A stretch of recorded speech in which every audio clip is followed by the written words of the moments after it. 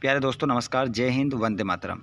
अर्धवार्षिक परीक्षा पेपर 2022-23 कक्षा दसवीं, पूरा का पूरा पेपर देख लो, हो गया वायरल।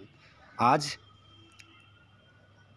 तीन जनवरी का पेपर पूरा का पूरा सौ प्रतिशत गारंटी। मतलब तीन जनवरी नहीं मतलब चार जनवरी को आपका हिंदी का पेपर है। ठीक है? तो यहाँ पर इसके देख लीजिए, पूरे आंसर सहित इस पीडीएफ को। इन क्वेश्चनों को देखिए, ज़रूर देख कर जाइएगा। स्थूल के प्रति सुक्चुम का विद्रोह ही क्या कहलाता है? छायावाद। उत्साह कविता में बादल प्रतीक है, क्रांति का। नेताजी का चश्मा, पाठ, गद्य की विदा है, कहानी। कहानी लगाइएगा। गद्य की प्रमुख विदाएँ है।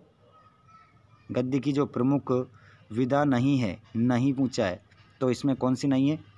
आत्मकथा नहीं है। अगला क्वेश्चन। भोलानाथ का असल नाम था तारकेश्वर नाथ।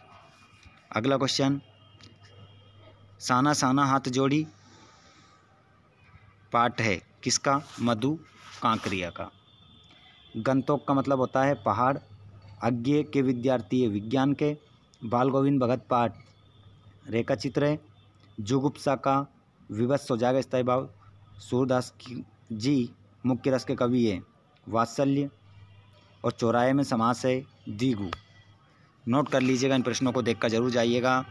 त्रिशंकु क्या है? निबंध है। वाक्य के भेद होते हैं। वाक्य के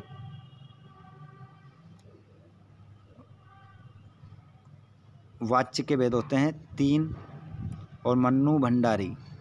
एक कहानी ये भी। माता कंचल शिवपूजन सहाय, रस के अंग। चार, आबा फागुन की। सट नहीं रही। हो गई जोड़ी। आगे बढ़ जाइए। सत्य, फत्य। राजा का धर्म प्रजा को न सताए, सत्य। उद्धव का संदेश, गोपियों को गुड़ की तरह मीठा लगा, असत्य। अगला क्वेश्चन देखेंगे। कभी कभी बापूजी हमें, हमसे कुश्ती लड़ते थे, सत्य। सेवन सिस्टर्स वाटरफॉल असम में है, असत्य। कृत वाच्य भाव प्रदान होता है, असत्य। बिस्मिल्ला खा की श्रद्धा काशी विश्वनाथ जी के प्रति अपार थी सत्य।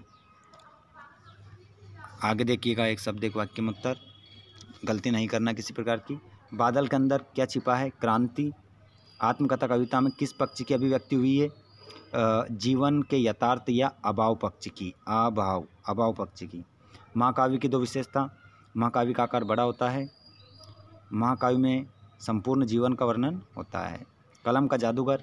राम वृक्ष बेनीपुरी को भारत विभाजन की त्रासदी का मार्मिक दस्तावेज़ कौन सा उपन्यास है? झूठा सच। झूठा सच। अज्ञ ने मानव निर्मित सूरज किसे कहा है? अणुबम को या एटम बम? एटम बम को। अगला क्वेश्चन ये, सभी देख सकते हैं, बच्चे माता पिता के प्रति प्रेम कैसे व्यक्त करते हैं? लोकोक्ति और मुहावरे में अंतर, संधि समास में अंतर, छायावाद के दो कवियों के नाम, नई कविता की विशेषता, खंड काव्य महाकाव्य में अंतर। देख सकते हैं। ठीक है? ये सारे क्वेश्चन स्थायी भाव, संचारी भाव में अंतर। ये सभी क्वेश्चन आप देख सकते हैं। इनको देखकर ज़रूर जाइएगा एक बार, क्योंकि ये पेपर के लिए बहुत ही महत्वपूर्ण है। देख जाइए इन क्वेश्चनों को। एक बार ज़रूर पढ़कर जाइएगा। ठीक है? ये संदर्भ प्रसंग, तुम्हारी ये दंतुरित मुस्कान, नाथ संबोधन भंजनिहारा बार बार सोचते उस क्या होगा, उस कौम का। ये देख लीजिए अच्छे से वीडियो को। ये यहाँ तक पूरा आपका पेपर था, जो आपको देखने को मिलेगा आज। धन्यवाद। आप इस वीडियो को कहाँ से देख रहे हैं? कमेंट बॉक्स में ज़रूर बताइएगा और आगे भी अपडेट पाना चाहते हो, चैनल को ज़रूर सब्सक्राइब कीजिएगा। Thanks for watching.